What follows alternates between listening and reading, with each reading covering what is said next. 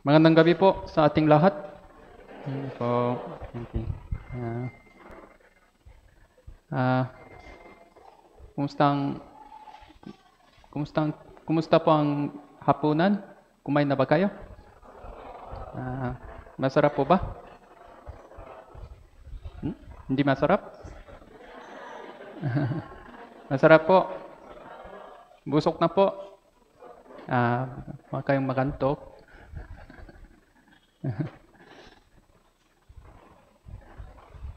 Ah, sige po, bago po ang bago pa ang simula, lahat po tayo muko ang manalangin.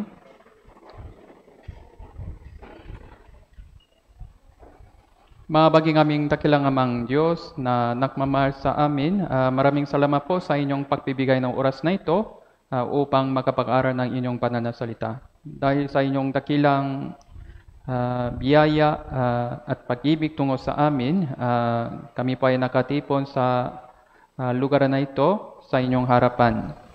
Kaya pakigabay niyo po kami sa pangitan ng inyong ah, banal na espiritu ah, upang mabuksan yung aming puso, isip, at upang matanggap ang inyong dakilang biyaya sa pamagitan ng pagkataong ito.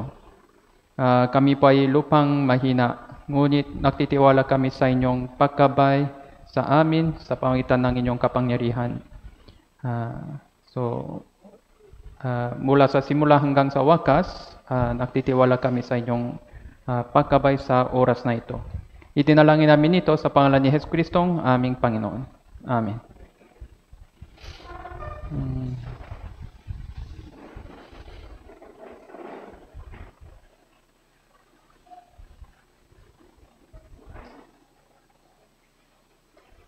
Uh, 1 chapter 5, uh, verse 39. Uh, basahin po natin ng sabay-sabay. 3, 2, 1. Uh, sinasaliksik ninyo ang mga kasulatan sapagkat iniisip nyo na sa mga yon ay mayroon kayong buhay na walang hanggan. At yung ang napapatoto tungkol sa akin. Uh, kahapon, uh, pinarampo natin kung ano po ang layunin ng ating buhay tapos yung layunin ng pag-aral ng Bible ngayon. Uh, wala na iba po o upang makamtan ang buhay na walang hanggan. Uh, yun pang uh, pinaka-importanteng layunin ng pag-aral ng Bible. Nagsisimba sila, maraming nagsisimba, takal na sila nagsisimba. Saan kayo makapunta? Sa langit o impero, no? Uh, hindi pa sigurado daw, 50-50 pa daw. Ibig sabihin, meron pong problema talaga sa kanila. Uh, siguro hindi nila alam kung ano ang uh, purpose ng yung uh, pag-aral ng Bible. Okay? Tapos siguro hindi meron po silang problema sa grupo nila, no? Uh, kaya po uh, tayo naman po uh, uh, sa pangitan ng uh, Bible seminar na ito, uh, sana uh, lahat po tayo ay uh, magkaroon ng uh, buhay na walang hanggan uh, galing sa uh, uh, Panginoon. Hmm? Uh, kasi ito pang pinaka-importanteng uh, layunin ng ating buhay. No? Kaya naniniwala ba kayo sa Diyos? Oo, naniniwala ko kay, uh, sa Diyos, uh, pero uh, hindi pa sila sigurado sa kanilang kaligtasan. Hmm? Uh, bakit po ganon? Uh, Ebanghelyo 1 chapter 17 verse 3, ito ang buhay na walang hanggan. Na ikaw makilala nila na isang Diyos na tunay at si Jesus Kristo na inyong uh, sinugo. Uh, kahit naniniwala sila na may Diyos, uh, kung meron po silang problema sa kasalanan sa harapan ng Diyos, uh, yan ang malaking problema. No? Kaya sino pa ang Diyos? Uh, siya pang banal na Diyos. Mm. Kaya kung meron po tayong problema sa kasalanan sa harapan ng Diyos, uh, uh, magkaroon tayo ng malaking problema sa bandang huli. Hmm. In Santiago chapter 2:19, sumasampalataya ka na ang Diyos ay iisa. Uh, mabuti ang inyong ginagawa, ang mga demonyo man sumasampalataya, mangiinip pa.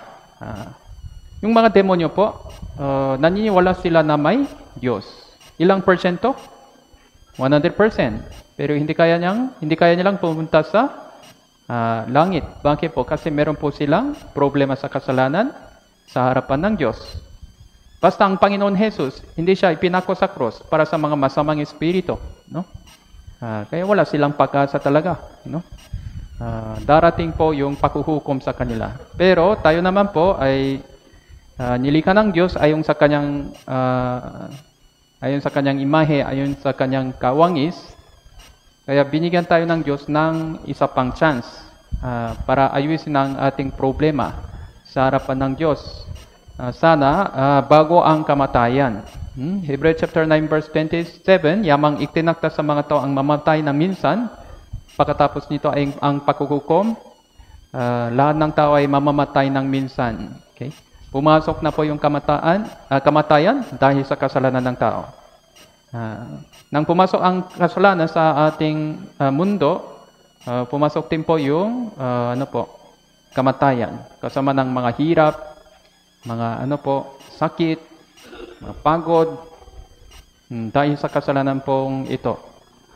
Ah, ito po ang mangyari sa lahat ng tao. Ano po? Lahat ng tao mamamatay ng minsan. Pagkatapos to, may paghuhukom. Kaya, bago ang kamatayan, dapat natin mas solusyonan ang problema natin spiritual sa harapan ng Diyos ah, dahil ang Biblia ay totoo talaga, no? Ang Biblia, totoo po ba hindi? Totoo. Hmm. Sabi ng Biblia, ano pa ang ibig sabihin ng kamatayan? Ah, pagkakahiwalay. Ah, pagkakahiwalay ng espiritu mula sa katawan, tapos yung pang unang kamatayan. Ah, ano pa ang kasunod? Ah, pagkatapos ng paghuhukom, meron pong isa pang kamatayan. Ano po? Pagkakahiwalay natin mula sa Diyos. Magpakailaman doon sa impyerno. Eh, kaya, ah, meron po tayong ah, Bible seminar. Hmm. Kaya po, yung Bible seminar po natin, ah, limang session po ito. Ngayon, nandito po tayo sa second session. Hmm. Anong purpose ng yung Bible seminar? Hmm? Kaya kaya ng pinaram po natin kahapon, kung may review tayo, meron pong sanggol sa sinapupunan ng kanyang ina. Ilang buwan nandoon po? Nine months. Ano pang layunin? Sa nine months. Ah, kasi pagkatapos ng pagsilang, meron pong kasunod na buhay, mga 70 hanggang 80 years. Kaya dito po tayo ngayon. Hmm. Hmm. Kaya ito pang panahon ng ah, preparation. Kung handa na siya ng mabuti, tuloy-tuloy siya. No? Ah, kung ganon, ano pang purpose ng ating buhay? Bakit kailangan yung buhay na ito? Okay? Igu- Ginugugol natin yung mga maraming oras dahil sa para sa ano, trabaho, luto, aral, dahil sa sakit, sa hospital, sa CR, sa traffic, ano-ano. Yung natitirang oras natin sa isang araw ay konti lang naman. Sabi ng Biblia, yung buhay natin, hirap, kaguluhan naman. Kay trabaho, trabaho, aral, trabaho, aral, sakit, trabaho, aral, sakit, trabaho, aral, sakit. Sa pandang huli, matanda na. Hmm? Malapit na yung araw ng kamatayan. Bakit kailangan yung ganitong buhay? No? Ano pang purpose ng yung ating buhay? Hmm? Eh, kaya po, ah, gaya ng ah, sa loob ng 9 months, ito pang panahon ng preparation, kaya sabi ng Biblia, pagkatapos ng kamatayan, meron pong ano po, eternity. Hmm. Ano pa ang kamatayan? Pagkahiwalay ng espiritu mula sa katawan. Yung katawan naman, dito sa lupa. Babalik ka sa lupa, sabi ng Diyos. Hmm. Yung separation. Ah, ito po ang ah, kamatayan. Hmm? Kaya nandito siya. Saan siya makapunta? Ah, itepende sa preparation. Kaya ito po ang panahon ng preparation. No? Para ano po? Para sa yung walang hanggang mundo pagkatapos ng kamatayan. Saan tayo makapunta? Itepende sa ating preparation. Meron pong dalawang lugar. Tama po ba? Heaven tsaka hell. Kaya alin pang gusto nyo? Hmm? Alin pang gusto nyo? Heaven. Yung gusto ko lang heaven. Saan ko makapunta? Saan kayo makapunta? Hindi pa sigurado. 50-50 daw. Hmm. Kaya, uh, gaya ng pinarampot natin, kung 50-50 lang, delikado ito kasi ito po ang impyerno. Hmm. Kaya dapat tayo pa sigurado sa ating kaligtasan. Hmm? Eh, kaya, uh, binigyan tayo ng Diyos ng Bible upang pagandaan ang ating uh, susunod na uh, buhay. Kung gano'n, ano pang problema sa ating buhay? Uh, sabi ng Biblia, lahat tayo ay ipinanganak ng makasalanan. Nakasala po tayo hanggang ngayon. Then sa hinaharap pa. Dahil lahat po tayo ipinanganak bilang makasalanan. Yung lahat ng sanina ni anak, sa ninay ni Adam ay, ano po yon? Makasalanan. Kaya, meron ba tayong kasalanan o wala? Meron. Lahat ng tao ay may kasalanan. Uh, ito pa ang malaking problema. Ang kasalanan. And dahil sa yung problema sa kasalanan, yung relasyon natin sa Diyos ay naputor. Ito pang sitwasyon ng lahat ng makasalanan, lahat ng tao. Okay, lahat ng tao. Kaya paano tayo oh, maliligtas? Kung marami po yung kasalanan natin, saan tayo makapunta? Langit o impyerno? Kung marami po, impyerno. Ilang porsyento? 100%. Ah, kaya paano tayo maliligtas? Paano? Uh, yung pang malaking tanong. Kaya maraming nagsisimba pero hindi pa nila alam kung paano sila maligtas. Uh, kung ganon, delikado po ito. No? Hmm. Uh, yung pang dahilan kung bakit meron po tayong Bible seminar. Okay? Kaya sinabi ng Panginoon Jesus kahapon, ano pang sinabi ng Panginoon Jesus? Yung ipinanganak ng laman ay laman. Uh, yung ipinanganak laman ay laman Uh, yung ipinang ng laman ay laman, ang ipinang ng espiritu ay espiritu. Kaya dapat tayo pa may panganang muli uh, bilang anang ng Diyos. Kaya dapat tayo pa may panang muli bilang anang ng Diyos para makapunta tayo sa langit. Yung pang ibig sabihin ng born again. Pero para tayo pa may panganak muli, para tayo pa naging anang ng Diyos, ano pang hadalangan? Yung hadalangan ay, ano po yun? Kasalanan. Kung meron po tayong kahit konting kasalanan sa harapan ng Diyos, kaya niya po bang makapasok sa langit o hindi? Hindi. Hindi po. Kaya, dapat natin hanapin yung solution. Tungkol dito. Ano po? Solution. Nasaan yung solution? Sa Bible. Hmm? Kaya sa pangitan ng Panginoon Jesus, Uh, dapat natin hanapin yung solution sa Bible. Hmm? Para tayo pa ay uh, eh, magkaroon ng buhay na walang hanggan. Para tayo pa ay nagiging anang ng Diyos.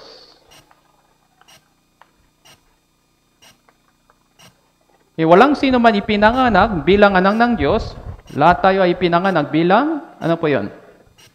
Makasalanan. Kaya dapat tayo pa may panamuli bilang anang ng Diyos. Para dito, dapat natin masolusyonan ang problema sa kasalanan para tayo pa ay nagiging anang ng Diyos. Yung buhay ng anang ng Diyos, ito po ay eternal. Okay? Sa pangitan ng uh, pagiging born again, spiritual, magkaroon tayo ng buhay na walang hanggan, Uh, ito po ang uh, kaligtasan. Ito po ang kaligtasan. Mula sa uh, impyerno. Hmm. Kaya sa pangitan ng Bible Seminar, 1, 2, 3, 4, 5 session, uh, sana magkaroon tayo ng buhay na walang hanggan uh, sa harapan ng Diyos uh, para tayo pa ay nagiging anang ng Diyos. Okay? Kaya nandito po tayo, session 2. Uh, kaya para magkaroon tayo ng buhay na walang hanggan, para tayo pa ay nagiging anang ng Diyos, Uh, para mas-solusyon na nating problema, spiritual. Ano pa ang unang step? Una, dapat natin maunawan na totoo talaga ang Biblia.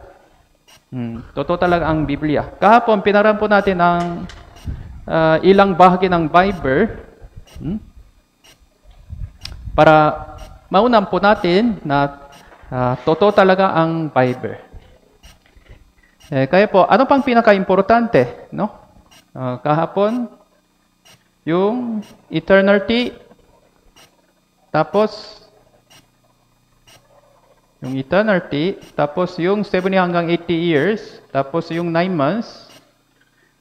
Alin pang pinaka-importante? Number 1, number 2, number 3? Number? Number? Number 4? Number? 1. Okay. Number one po. Number one. Mm. Ito pa ang pinaka-importante. Uh, eh, kaya po, mm,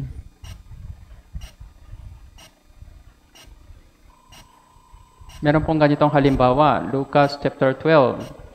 Naksalaysay siya sa kanila ang isang taninghaga, ang lupay ng taong mayaman ay namunga ng sagana. Inisip niya sa sarili, ano ang gagawin ko?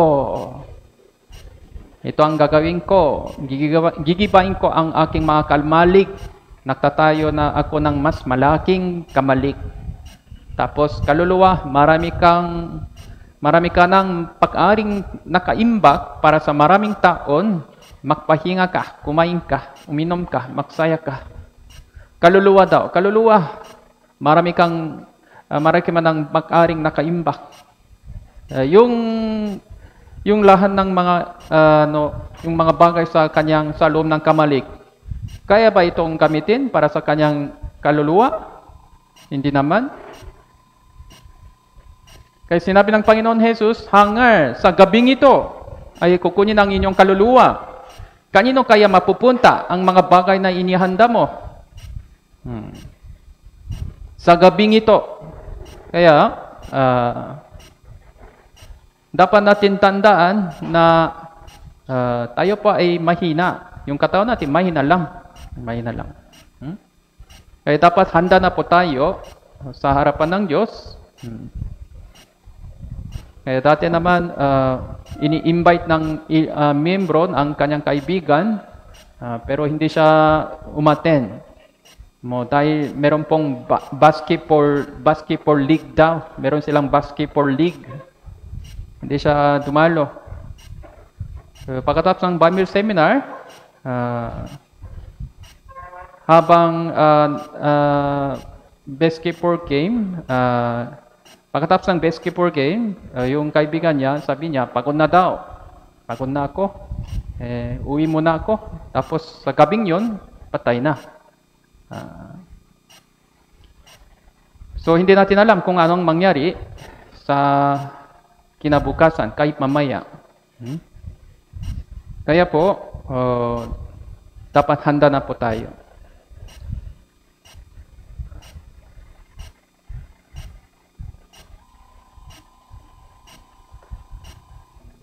Kaya Juan, ibang Juan chapter 6 verse 27, basahin po natin ng sabay-sabay, 3 to 1. Huwag kayong magsumikap ng dahil sa pagkain na sisira, kundi dahil sa pagkain tumatagal, para sa buhay na walang hanggan na ibibigay ko sa inyo ng anang ng tao.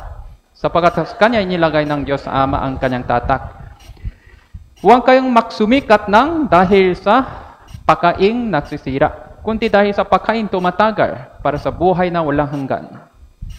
Meron po, ay, kailangan po yung trabaho, kailangan po yung aral, pero dapat meron po tayong oras para sa ating sarili, para sa ating espiritu. Uh, kung hindi, baliktad na ang purpose ng ating buhay. Baliktad. Yeah. Kaya dahil dito, nandito po tayo ngayon Hmm. Eh, sa pangitan ng uh, 1, 2, 3, 5, 4, 5 session, uh, sana magkaroon tayo ng tunay na relasyon sa Diyos uh, para uh, makapasok tayo sa kanyang kaharian. Hmm. Kaya po, uh, yung pagpabasa ng Bible lang, hindi sapat. No. Uh, bangke po, kasi sinabi ng Bible, ang pananampalataya ay nanggaling sa uh, pakikinig. Ang pakikinig sa pangitan ng salita ni Kristo. Hmm. Ang pakikinig ay importante, no? Uh, uh, meron po tayong bibig para sa ating spirit, uh, para sa ating pagkain. Uh, physical, no? Uh, meron pong uh, tanginga, dalawang tanginga uh, na ibinigay ng Diyos para sa ating spiritual na pagkain. Hmm. Kaya alin pang mas importante, yung spiritual na pagkain o physical na pagkain? Espiritu. Uh, kasi ito pa ay magpakailaman. Gaya ng kanina, sinabi nyo, alin pang mas importante? Number one, number three, number three? Number? Number four? Number four pa ulit. number one. Tama po ba? Yung eternity. Kasi magpakailaman ito. Magpakailaman. Magpakailaman ito. Walang tigil. Kung saan kayo pupunta, magpakailaman. Kaya ang naklalayo ng kanyang pandinig sa, pakik, uh, sa pakikinig ng kautusan, maging ang kanyang panalangin ay karumar-dumar. Ang kanyang panalangin ay karumar-dumar daw. Paano ito nangyari? Eh, inis ng maraming tao, yung panalangin, ito maganda, mabuti, importante. Pero sabi ng Biblia, ang pakikinig ay mas importante uh, dahil uh, kung hindi nakabase sa kalooban ng Diyos ang nilalaman ng kanyang panalangin, uh, hindi po ito katanggap-tanggap sa Diyos. Kaya yung panalangin natin dapat nakabase sa uh, kalooban ng Diyos. Kaya alin pang mas importante, pakikinig. Kaya yung pagpabasa ng Bible lang, uh, panalangin lang, hindi po ito sapat. No, para magkaroon tayo ng tunay relasyon, dapat natin makinig ng mabuti uh, ng salita ng Diyos. At tapos, dapat natin maunawaan. Mga gawa chapter 8 verse 30, naunawa mo ba ang binabasa mo? Paano nga ba malibang may tumulong sa akin? Kaya ito pong nangyari sa uh, Gawa chapter 8 verse 30, sa pamagitan ng tulong ni Felipe, uh, yung isang enuko ay nakaunawa ng magandang balita. Hmm. Kaya simula sa kasulatang ito ay ipinangaral niya, ipinangaral ni Felipe sa kanya sa isang enuko na nakahanap ng katotohanan. Ano po ang magandang balita ni Jesus. Tapos, uh, sa bandang huli siya po ay binautismuhan ni Felipe. Bakit po? Sinabi ni Felipe, kung mananampalataya ng buong puso, uh, mangyayari. Ano? Yung baptism. Uh, uh, nabautisma na daw uh, sila. Pero yung ang mas importanteng bagay, ano po, yung ating pakunawa, ating pananampalataya, ayon sa pakunawa. Hmm. Kung hindi, yung baptism lang, siyempre walang silbi. Kaya sinabi ng Bible pa ulit-ulit, Ano pang pinaka-importante? Listening. Tapos understanding. Then, nakabase sa yung pag-unawa tungkol sa salita ng Diyos, kung magkaroon tayo ng pananampalataya, ito po ay katanggap-tanggap sa Diyos. Kay mula ng araw na inyong marinig at maunawaan, malaman at sinasampalatayanan. Uh, binuksan ng Panginoon ang kanilang puso upang makinig ng mabuti. Binuksan niya ang kanilang mga pag-iisip upang maunawaan nila ang mga kasulatan. Kaya meron pong mga faith na uh, ng ganyan, faith with misunderstanding. Misunderstanding. Okay? Uh, tinatawag ito superstitious faith. Ano po? Superstitious faith. Hmm.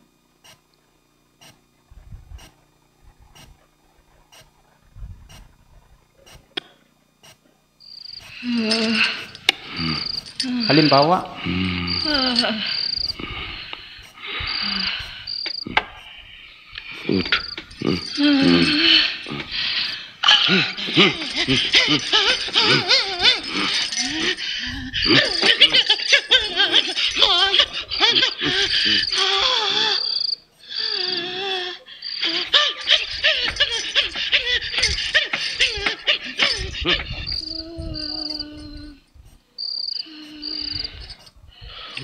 ano daw? Shake well before use. Shake, ano po? Ano? Yung gamot naman. Ini-shake niya yung asawa niya. Ah. misunderstanding, tama po? Faith without understanding. Ha? Faith without understanding.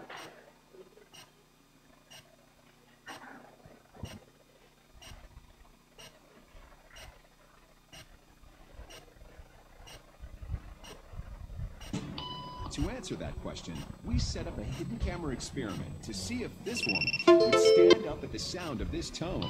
Simply because everyone else is. You might be thinking you'd never go along with this. Or would you? Kung may peace sound, tumayo sila lahat. Yung babaeng ito, siguro baguhan siya, baguhan. Kaya hindi niya alam ano ba ito. doing na lang ako para hindi ako nahihiya. But what happens if we take the group away? Elaine, please.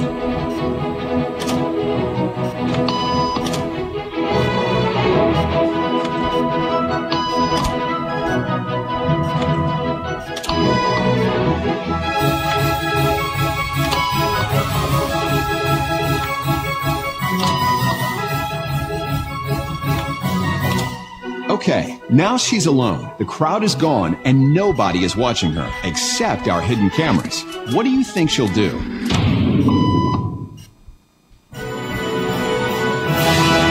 She's now conforming to the rules Kahit of the group without them ngayon even pala. being there. Now, watch what happens when we introduce another outsider who doesn't know the rules. Have a seat, and they'll be out in just a couple minutes. Thanks so much.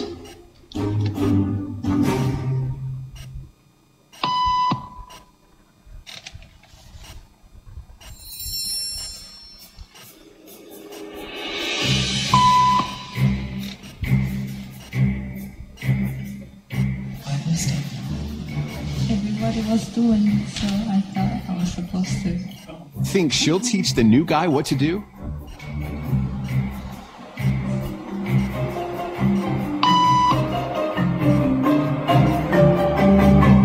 It's now become the social norm for everyone in this waiting room. Faith without understanding. Blind faith. Hmm. Hindi nila alam kung bakit. Kung bakit. Hmm? Hindi po ito tunay na faith. Ano? Superstitious faith. No, sabi nila, kung nakita nila yung mga itim na pus- pusa, ano po, delikado daw. Ano? Ah, may basehan ba ito? Hmm, wala naman. Blind faith, hindi nila alam kung bakit, ano ang dahilan. Sumusunod na lang sila. Ah, hindi po ito tunay na pananampalataya. Ano pang tunay na pananampalataya? Ah, sa pamitan ng Biblia, ah, sa pamitan ng mga ebidensya, kung magkaroon tayo ng pananampalataya, ah, ito pang tunay na pananampalataya na may ah, pundasyon. Ah, kaya po, yung Biblia, ito po ay salita ng Diyos. Ah, tayo naman po ay tao. Kaya paminsan, ah, hindi kaya natin naintindihan ng madali yung sinabi ng Bible ah, kung walang pag-aaral. No? Ah, ano po ito? Alam niyo po ba kung ano ito? Ano ang pangalan ng insektong ito? Anong pangalan ng insektong ito? Yung pangal ha? Yung pangalan niya ay day flies. Kasi ano po? Yung haba ng buhay niya isang araw lang. Isang araw. Mamayang gabi eh siya po ipinanganak. Bukas ng gabi eh patay na. Parang ganun po. Ah, kaya kung sinabi niyo sa kanya, makikita tayo bukas, anong sasabihin niya? Bukas? Ano ang bukas? Hindi niya alam. Mm. Kasi hanggang doon lang siya, no? Ah, meron pong ah, walang hanggang mundo. Walang hanggang mundo, ano ba yan? Hmm? Pero yung pang sinabi ng Bible, hmm? kaya alin pang totoo? Wala po ba yung kinabukasan o meron? Meron naman. Ah. Eh, kaya po, oh, meron pong ating sarili isip, meron pong kaisipan ng Diyos dito sa Bible. Ah, alin pang tama? Ah, paminsan kung inisip natin, kung, kung iba po yung sinabi ng Bible ah, sa ating isip, ating isip, kung iba po yung sinabi ng Bible, alin pang tama? Yung isip natin o yung Biblia? Yung Biblia. Tama po? Ah, ayun pang ah, importante. Eh, sabi ng Biblia, ang aking mga pakiisip, hindi ninyo mga pakiisip. Ang inyong mga pamara- pamamaraan, ang aking mga pamamaraan. Uh, sa tingin ko, mali po ang sinabi ng Bible. Sa totoo lang, sino ang mali? Ah, tayo po, tayo pang mali. Ang sinabi ng Bible, totoo. Okay, naintindihan po? Kaya paminsan hindi natin naintindihan yung sinabi ng Bible, pero uh, sa pangitan ng tulong ng Espiritu Santo, o magkaroon tayo ng pag-unawa. Kaya narinig, narinig ko ang ngunit hindi ko maunawaan. Sinabi ni Daniel, kaya sinabi ko, O Panginoon ko, ano ang magiging wakas ng mga bagay na ito? Sinabi niya, Humayo ka sa inyong lakad, Daniel, sapagkat ang mga salita ay nanatiling lihim, natatakan hanggang sa panahon ng wakas. Kaya asing panahon naman po, ito po ang ah, panahon ng wakas. Kaya kaya na, ah, lahat ng mga propesiya sa Bible ay naganap na. Kaya po kaya natin maunawan ng mas madali ah, ang sinabi ng Bible kaysa noon. Ah, ito din po isa pang blessing, no?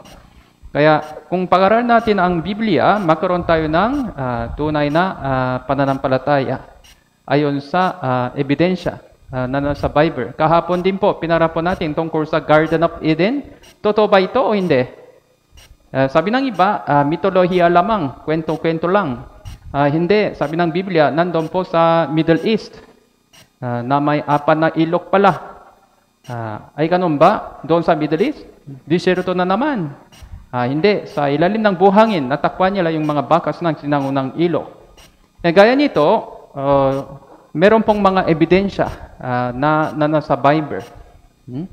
Kaya sa pangitan ng ah, pagsusuri sa mga ebidensya na nasa Bible, ah, sana lahat po tayo magkaroon ng ah, tunay na pananampalataya. Ilang porsyento? 100% yung faith. Kaya naniniwala kayo sa Bible. Ha? Ibig sabihin, totoo po ba ang Biblia? Ah, ilang porsyento? 50% o 90%? Dapat 100% po tayo. Ah, yung pang pananampalataya, ah, paano po sa pangitan ng mga ebidensya at, at katuparan ng mga propesya ah, dito sa ah, Bible. Okay? Ah, Kahapon, pinaram po natin ang ah, ah, talata tungkol sa unang panahon. Garden of Eden, hindi tapos ah, kasalanan ng tao. ah, hindi tapos, kasno naman, meron pong storya tungkol sa Cain and Abel, and then corrupt world, and Noah's and flood. Ito po ang nilalaman ng Genesis chapter 2 hanggang 7. Hmm. Kaya, ah, sabi ng Biblia, ah, pagkatapos ang ah, pagkatapos si Adam ay nakasala, pinalayas ng Diyos ah, sina Adam at Eva, tapos nakaanak po sila ng marami, and dalawa sa kanila, Cain and Abel, ah, ay nakasala din po sa harapan ng Diyos. Yung Cain po, nakasala po sa harapan ng Diyos. Ah, paano po? Ah, kasi gusto nilang ihandok ang mga ah, mga alay sa harapan ng Diyos, pero yung handok ni Abel, tinanggap ng Diyos. Pero yung handok ni Cain, tinanggihan ng Diyos. Kaya po, nagalik si Cain. Kaya pinapatay ni Cain si Abel. Ah, yung pang nangyari. Hmm. Kaya yung pang malaking kasalanan. Ah, gaya ng ah, lesson na ito, oh, pasimula naman, ah, mukhang maliit na kasalanan. Yung kasalanan ni Adam, mukhang maliit lang ito, yung bawal na prutas, ito lang kinain, pero paklipas ng panahon, yung kasalanan ay lumaki na lumaki. Ngayon, pinapatay nila ang kanyang kapwa. Eh, yung buong mundo sa pandang huli, naging puspos ng kasalanan. Sa panahon ni Noe, Kaya ibinigay ng Diyos ang mensahe ng pabala upang hatulan ang buong mundo. Ano po yun? Sa panahon ni Noe, ano pang nangyari? Noah's flood. Hmm. Ako ay magpapasakdaksa ng baha ng tubig sa ibabaw ng lupa upang lipulin ang lahat ng laman, may hininga ng buhay. Sa ilan ng langit. Ang lahat na nasa lupa ay mamamatay. Uh, lahat ng mga may buhay ay nalunod maliban sa pamilya ni Noe. Kaya lahat sila nalunod, lahat sila namatay dahil sa baha. Uh, sabi ng Biblia, totoo ba ito? Uh, pandagtigang baha. Hmm. Paano ito nangyari? Kasi sabi ng Biblia, uh, Nang araw na yon, umapaw ang lahat ng bukar ng tubig mula sa uh, uh, bukar ng tubig mula sa malaking kalaliman. Ang bintana ang mga bintana ng langit ay nabuksan. Uh, kaya umulan sa ibabaw ng lupa sa loob ng apat na pong araw, tapos apat na pong gabi. Apat na pong araw at apat na pong gabi. 40 days, 40 night, umulan. Eh, impossible po ito. Paano kaya yan? Yung pangisim ng tao, ano? Eh, kwento-kwento lang yan. Mm. 40 days, 40 night umulan. Paano kaya yan? No? Nasaan yung ganitong maraming tubig? Saan ang galing ng tubig na umapaw sa buong mundo? Ngayon naman, nasaan yung tubig? Tubig na yan uh, na, buong na umapaw sa buong mundo. Nasaan yung arko ni Noe? Eh, 40 days, 40 night umulan. Impossible na. Uh, yung pangkaraniwang isip ng tao. Oh, yung pangkaraniwang isip ng tao. Hmm? Dahil sa kasalanan, pinarosan ng Diyos ang buong mundo sa pangitan ng malawakang baha. Ah, impossible na ito. Impossible. Ah, ganun po ba? Kaya suriin natin ang Biblia ah, para ah, magkaroon tayo ng ah, tunay na pananampalataya. Hmm? Kaya kasunod naman, anong sinabi ng Bible? Okay? Pagkatapos ng uh, uh, storya tungkol sa Garden of Eden, meron pong mga listahan ng uh, anak ni Atan. Ang mga naging anak ni Adam. Ah, sino sino yung pangalan nila si Enos, uh, mo si ano uh, uh, Kenan. Sabi dito, ang lahat ng naging Enos, araw ni Enos, siyam na rang limampung taon siya ay namatay. Ang lahat ng naging araw ni Kenan, siyam na rang sampung taon siya ay namatay. Ito pang uh, mga apo ni Adam. Tapos, dito naman, uh, isa sa kanila ay Mut, uh, Matusalem, Mustela. Ang lahat ng naging araw ni Matusalem, siyam na rang anin na pun, siyam na taon siya ay namatay, namatay, namatay. Pero meron pong kakaibang bagay. Ano po, yung haba ng buhay nila, ano po yun? Halos may gisa 900 years. Hmm. Inisip nila, siguro, yung haba ng buhay ng sinaunang tao, uh, medyo ma- mas maikli kaysa ngayon. Pero sabi ng Biblia, 900, may gisa 900 years. Adam, 930, Seth, 920, Enos, 995, Noah, Musela. Musela naman, 969. Ang haba na po ito. Ang haba na. Kaya totoo ba yun? Sabi ng iba, eh, hindi to totoo. E, paano ito nangyari? Mahigit sa 900 years? Ay, kwento lang talaga ito. Kwento. Kaya hindi ako naniniwala sa Biblia. Kwento lang ito. Mitolohiya lamang. Uh, sabi ng maraming tao. Ay, ganun po. Dahil hindi nila sinusuri ang Biblia ng detalyado, hmm, kaya ganun, ganun po oh, sila. Kaya ano ang sinabi ng Bible ng detalyado tungkol dito? Uh, kung sinusuri natin ang Biblia ng detalyado, uh, magkaroon, uh, matatakpuan po natin yung maraming mga ebidensya sa Bible. Hmm? So ano po ang una? Uh, Genesis chapter 1 verse 7 hanggang 8. Ginawa ng Diyos ang kalawakan, ibinuko ng tubig nasa ilalim ng kalawakan mula sa tubig na nasa itas ng kalawakan. Ito ang nangyari. Tinawag ng Diyos ang kalawat ng langit. Kalawakan, ito pang langit, kaya meron pong tubig nasa itas, ilalim ng itas ng langit, meron pong tubig sa ilalim ng langit. Yung tubig sa ilalim ng langit naman, dagat po, dagat. kung kuha ano pang tubig sa itaas ng langit. Eh, hindi po ito ulap kasi sinabi ng Bible tubig. Kaya ito po ang ah, sitwasyon. Hmm. Ah, meron pong tubig na ah, bubong, parang bubong po ito. Bubber. Hmm, bubber. Eh, kaya, sinabi ng mga scientifico na ganito, model done by the world famous artist Robert Summers. And this firmament is expressed as a bubble of water bula over the tubig. surface of the earth. Yes. We lost that bubble. We lost that firmament at the time of the flood. It collapsed. And the system to re energize the Earth's magnetic field collapsed along with it.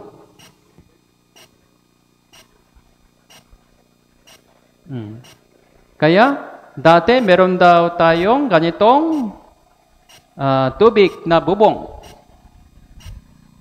Kaya kung meron po tayong tubig na bubong, ah, ano pang mangyari? Ah, yung sikat ng araw, masakit po ito yung sikat ng araw, di ba?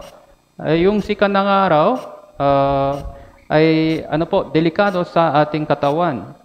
Pero kung meron po tayong tubig na bubong, ah, protektahan po natin, ah, protektahan ng tubig na bubong yung mga tao, ah, mga hayop mula sa uh, mapangi, mapangingin na yung ultraviolet rays, X-rays, and gamma rays. Kaya tubig na bubong ito pa ay naging harang para hindi nakapasok yung ah, delikadong sikat ng araw. Hmm?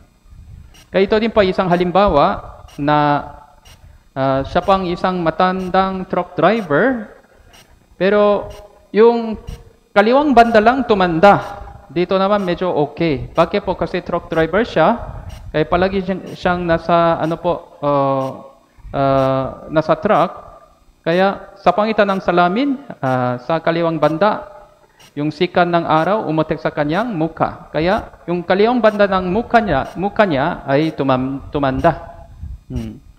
Kaya ito pang isang sample na para malaman natin kung gaano oh, delikado, gaano mas, mas ah, kasakit ang ah, sikat ng araw.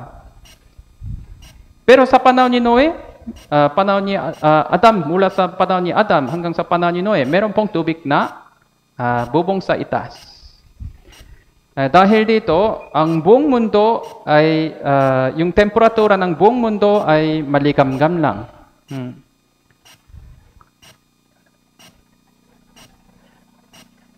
Kaya kung meron po tayong tubig na bubong, ano pang nangyari?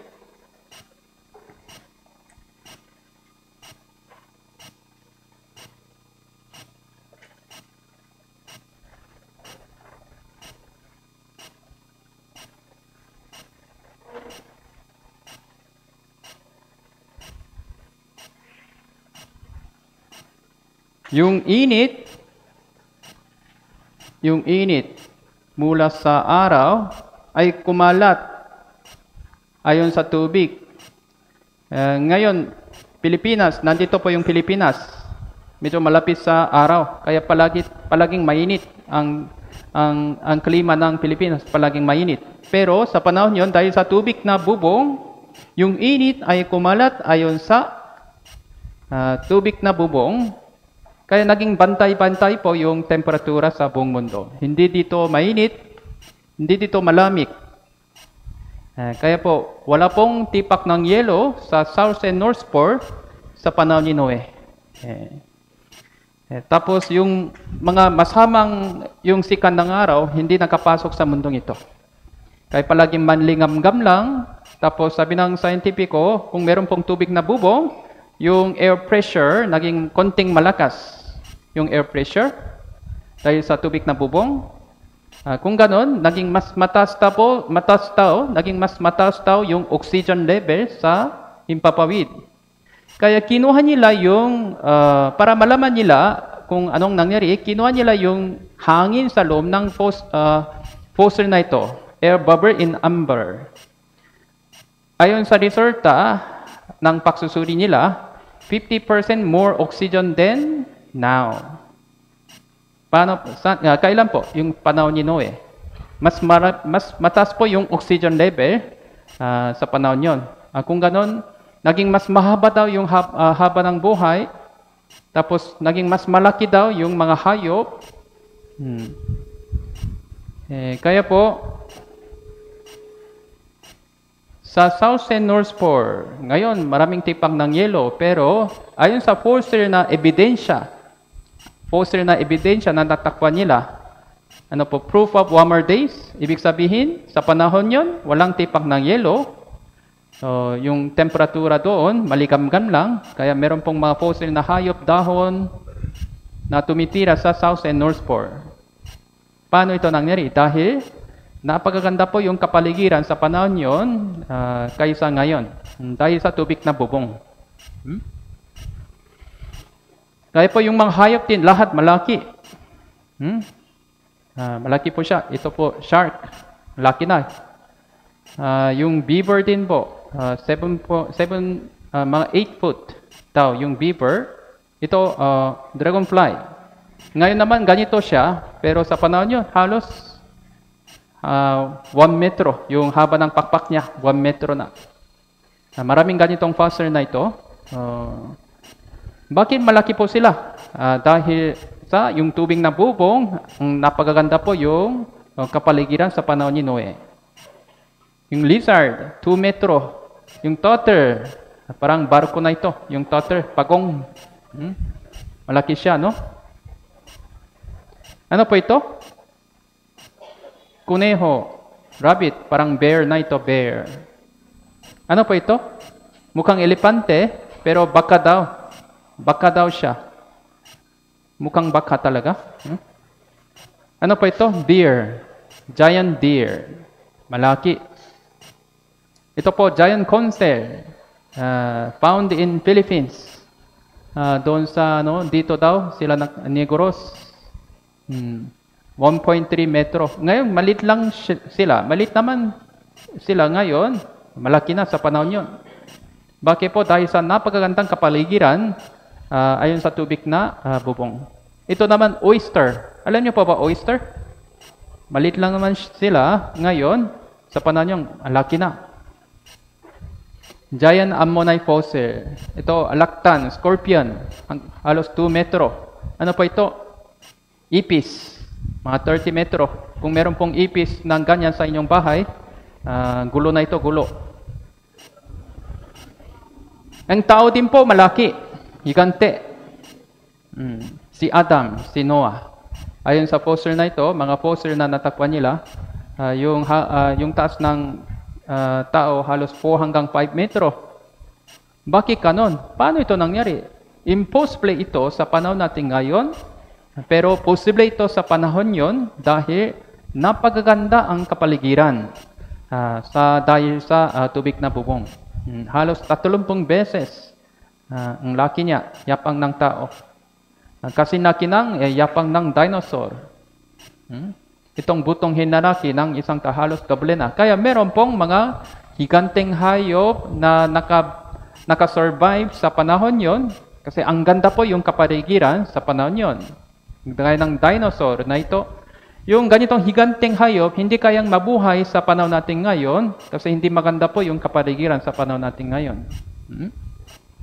Ah, kaya ang Biblia ay totoo talaga. Ang laki po ito, ang laki, no? Hmm. Ang sabi ng Biblia, sa panahon nyo, hindi po umulan. Sapagkat hindi pa nakpaulan ang Panginoong Diyos. Hindi pa nakpaulan. Wala pang bagyo. Wala pong malakas na ulan. Walang baha. Sa panahon nyo, ang ganda yung kapaligiran, palagi. Ah, mataas po yung oxygen level. Ah, kaya po, oh, kayang mabuhay ng higanteng hayo sa panahon yon.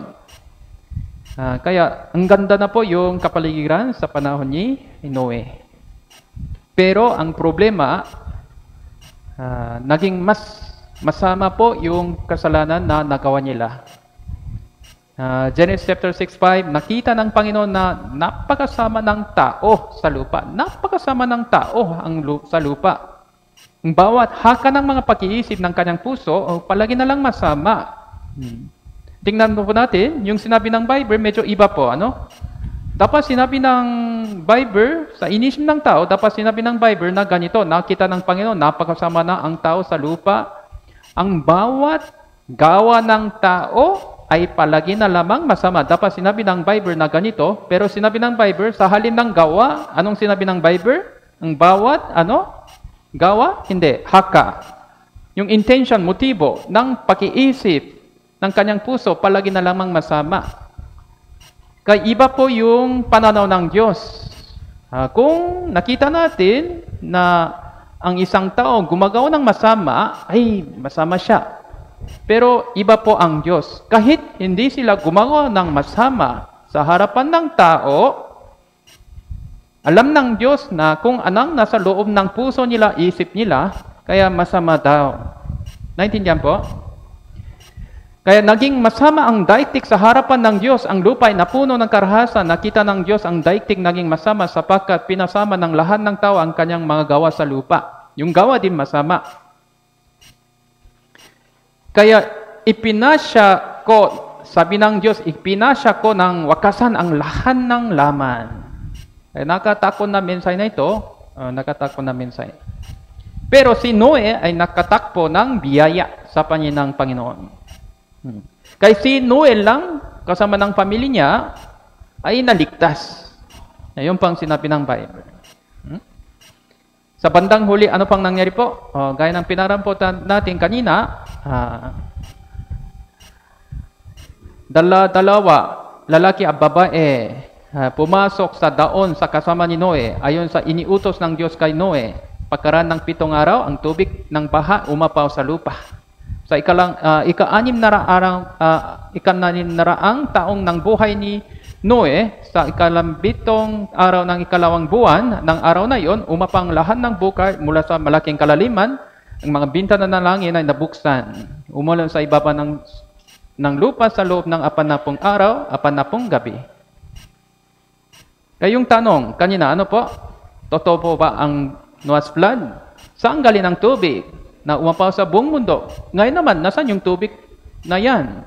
Nasaan ang daon ni Arko ni Noe? Hmm. Kaya sabi ng Biblia, meron pong malaking bukar ng tubig sa panahon yon.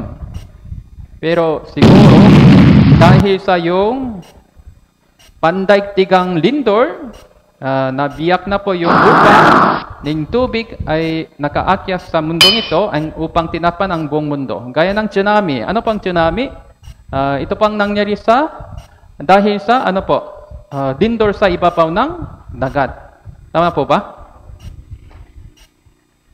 Kaya kahit sa panahon natin ngayon, uh, meron pong nangyari doon sa Japan.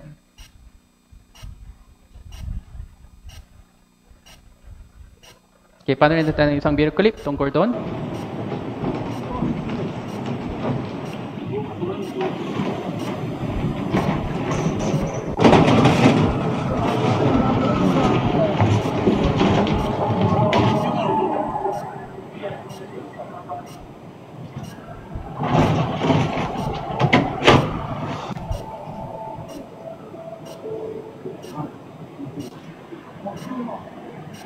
Ah,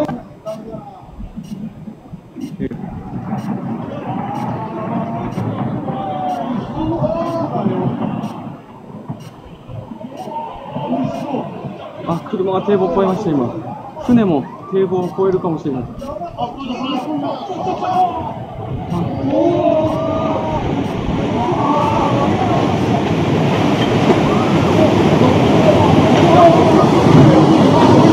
建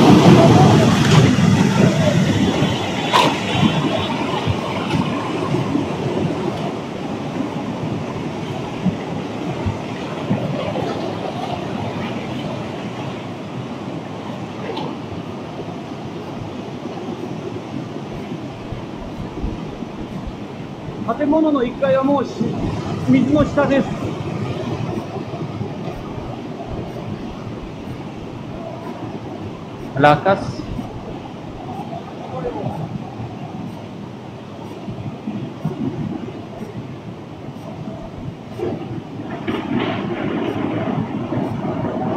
kung gano'n, ano pang nangyari sa panahon ni Noe?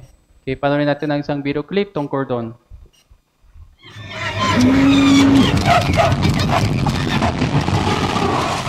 Kaya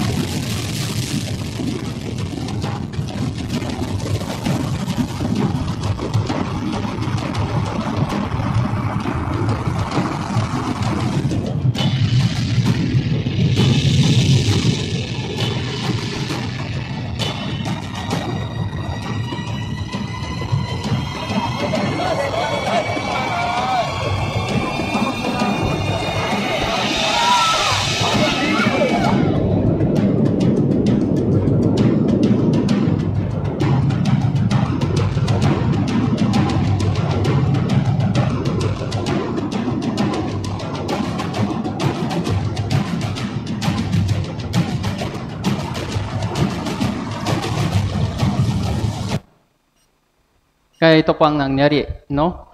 Sa may sik oras, ang buong mundo ay inapawan ng tubig. Tapos yung mga bintana ng langit ay nabuksan. Ah, gaya ng bubble explosion, siguro naging mas malakas po yung gravity ng mundong ito, kaya ah, bumaksak ang lahat ng tubig. Ah, kaya po, nawala na yung tubig. Ah, una, uh, pandaigdigang lindor. Kaya yung tubig sa ilalim ng ah, sa ibabaw ay bangsak. Yung tubig sa ibabaw ng lupa mula sa malaking kalaliman ng bukar ay umakyat. Kaya ang buong mundo nasa ilalim ng tubig na. Eh, kaya po, ayon sa talata ng Biblia, pagkatapos ng pagkasira ng tubig na bubong sa panahon ni Noe, dati naman mga 900 years, 930, 950, Noah naman 950 pa. Pero yung anak nila naging mas yung haba ng buhay ng anak nila naging maikli. May 400 lang, 700 lang. Ngayon 70 hanggang 80 years na. Kaya dumaksa ang tubig, lumaki ang husto sa ibaba ng lupa, lumutang ang daon sa ibaba ng tubig. Ah, dumaksa ang tubig sa ibaba ng lupa, inapaw ng lahat ng mga matas na buntok. Kaya ano pong nangyari sa ilalim ng tubig? Ang buong mundo nasa ilalim ng tubig, uh, naganap po ang ah, malaking pagkuho ng lupa, gaya ng landsliding. Ah, kaya po, natakpuan ng lupa ang karamihan ng mga hayop, halamanan sa panahon yon ng bigla. Bilang resulta dito, ito pa ay may ah, ah, mga hayop ang na-preserve bilang fossil. Bilang fossil. Hmm? Kaya meron pong mga fossil na ganito, habang kumakain, kumakain pa sila, naging fossil na. Ibig sabihin, yung nangyari sa kanila ay ah, nangyari ng biglaan. Biglaan. Hmm? Kaya maraming mga ah, hayop, mga dinosaur ay eh, na fossil, natakpan nila. Ah, dati, ah, hindi nila alam kung meron palang ganitong maraming fossil na hayop. Akala nila konti lang. Mga 100 years ago, 200 years ago, uh, inisip ng mga scientific archaeologists, meron pong konting fossil lang. Pero sa paklipas ng panahon, natakpan nila yung maraming mga fossil na hayop na ganito. Kaya nagtangka sila, bakit marami na ito? Bakit marami? Parang sabi nila, ang buong mundo parang libingan daw. Bakit marami po sila? Dahil ito pang nangyari sa buong mundo, lahat ng hayop ay nalunod. Maliban sa mga sumakay sa arko ni Noe. Grand Canyon din po, ito din po ay ah, mancha ng ah, pandaigdigang ah, baha. Ah, Tingnan po natin yung taas, diretso lang, diretso. Hmm? Ah, yung tubig na umapaw sa buong mundo ay gumagawa ng ganitong structure sa ibaba ng lupa. Hmm. Kaya yung Biblia ay totoo talaga. Hmm? Kung ganon, nasan yung tubig na umapaw sa buong mundo ngayon?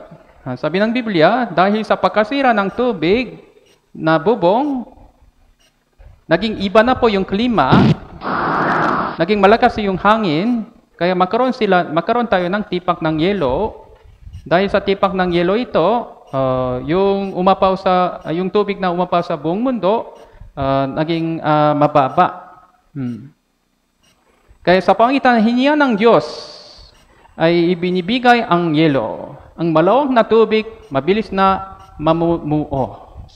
Ah, sa pangitan ng Diyos, nabubuo ang yelo. Maging yelo po ang malalawak na bahagi ng tubig.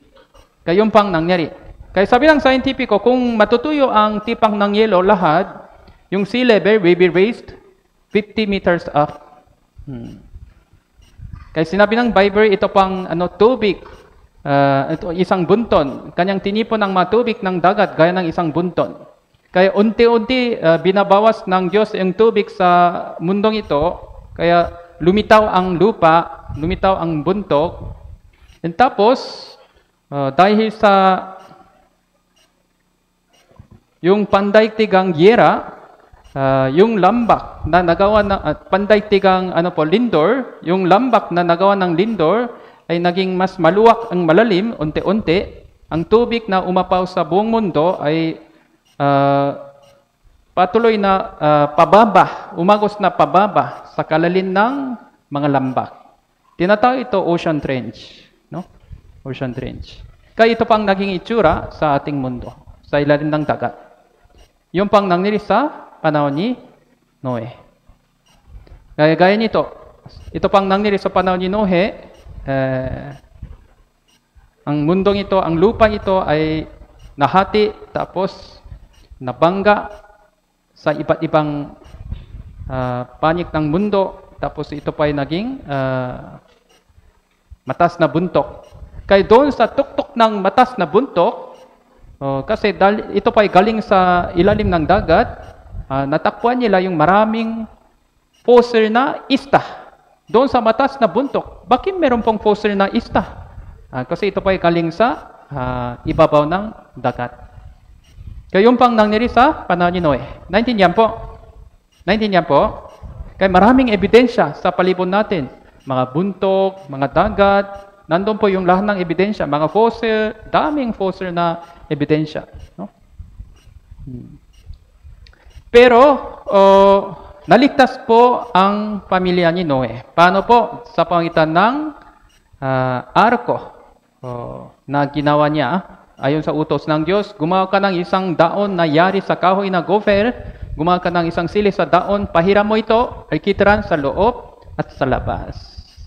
Ito pa ang tungkol sa ah, mensahe ng salvation. Kaya meron pong detalyadong sukat ng daon ni Nore. Tatlong tan siko ang haba, ang luwa, limampung siko, ang taas, tatlumpung siko, una, ikalawa, ikatulong palakpak. Ah, kaya po ito pa ay halos 135 metro yung haba, yung taas, ganito po. Yung lapad, hmm, mga 20 times the size of basketball field. No? Malaki po siya, no? Malaki po. And tapos yung lahat ng mga hayop ah, ay sumakay sa ah, arko ni Noe. Yung dala-dalawa daw po, yung babae, lalaki, kasama ng pamilya ni Noe. Eh, panunin natin ang isang video clip tungkol dito.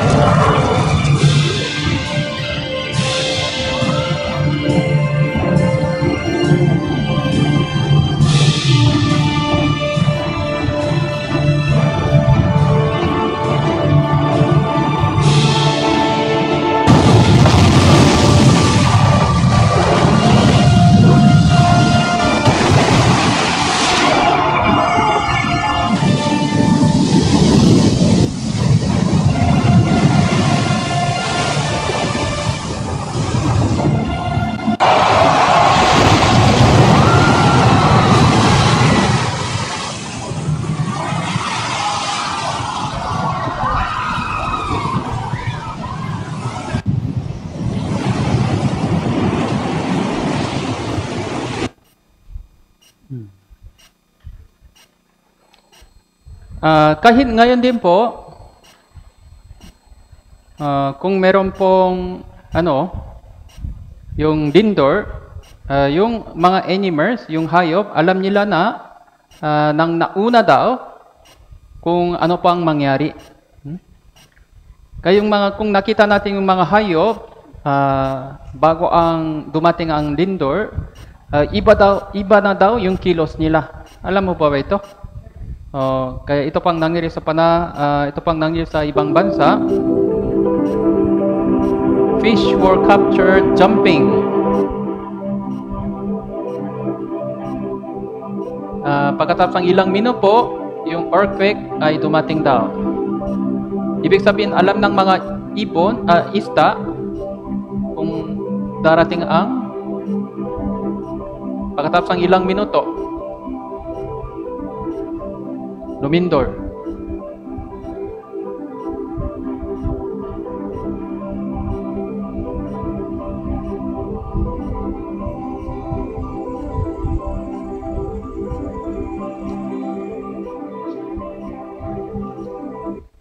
Dahil sa yung experience nila sa panahon ni Noe, no? Hmm. Kaya ligtas na po sila. Ano po? Uh, yung sumakay sa arko ni Noe. Hmm. So, malawak kang pakpa. And then tapos, nasan yung arko ni Noe? Genesis chapter 8 verse 4, na, ng ikalambing pitong araw ng ikapitong buwan, sumasat ang daon sa mga buntok ng Ararat. Buntok ng Ararat. Nasaan yung buntok ng Ararat? Nasaan yung arko ni Noe? Nasa buntok ng Ararat daw. Nasaan yung buntok ng Ararat? Doon sa Turkey, Iraq. Ha? Yung hangganan ng Turkey at Iraq, in Russia. Nandun po yung Mount Ararat. Mountain sa Ararat. Kasi dalawa po sila eh. Mga buntok ng Ararat. Yung isa uh, na maliit, Little Ararat. Yung malaki, Mount Ararat. Uh, yung Mount Ararat, ito pa ay medyo mataas na yung buntok, kaya palagi silang nababalutan ng yelo. Kaya doon sa ilan ng yelo, natakpan nila yung arko ni Noe. Hmm. Ganito, yung picture po. Uh, meron pong Noah's Ark National Park Visitor Center. Okay, paano rin natin ang video clip tungkol sa uh, discovery nila? Mm-hmm.